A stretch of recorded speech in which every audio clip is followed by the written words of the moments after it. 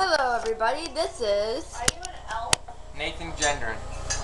and we're gonna make his hat magically disappear. Ready? I'll stand. Watch. One, two, and look, his hat disappeared. Whoa, where'd my hat go? I gotta find it. You all find. Ready? Ready? Quiet. Ready? We're about to make me disappear. Oh no, he's gone. Now, let's bring, now we gotta bring your hat back. Okay. Ready? Oh no, we brought it back. Yes. All right, that was our fabulous trick. Jeffrey's gone forever. you ruined the magic. No, I'm, I've been in Alaska for five years. He's gone. All right,